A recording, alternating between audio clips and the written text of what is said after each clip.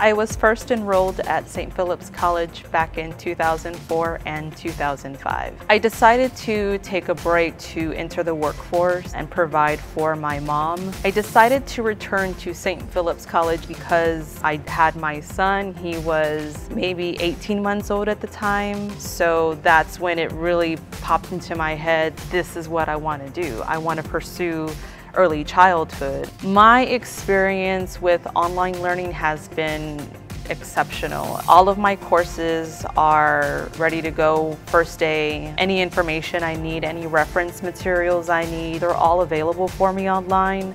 I never saw myself coming this far. Deciding to come back to school and make a better life for myself and my son, it means the world to me. There's nothing like having a good education to back you up.